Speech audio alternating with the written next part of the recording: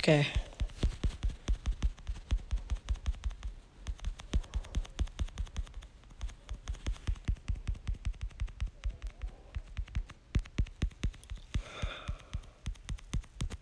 Yes! Yes! Look at that.